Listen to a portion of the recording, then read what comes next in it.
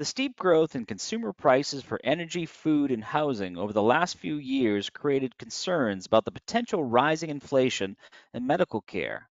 This study, Insights into Medical Inflation and Workers' Compensation, a WCRI flash report, examines to what extent the recent sizable price growth for all goods and services spread to the healthcare sector in general and to workers' compensation in particular.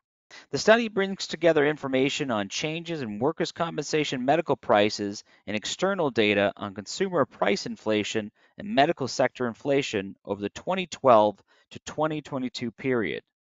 It identifies the main drivers of the workers' compensation medical cost growth and focuses on the price components associated with the major provider types.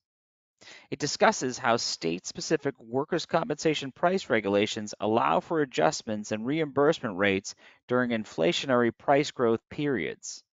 How fee schedules shape the growth in professional prices and hospital outpatient facility payments is also addressed.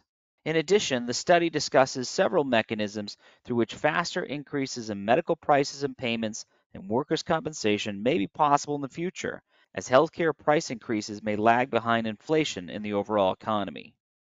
We hope you found this video helpful and will download the study. Click on the thumbs up button below to let us know if you liked it. Also, please make sure to subscribe to our channel to stay up to date with our latest research and discussions about important workers' compensation topics. Thanks for watching.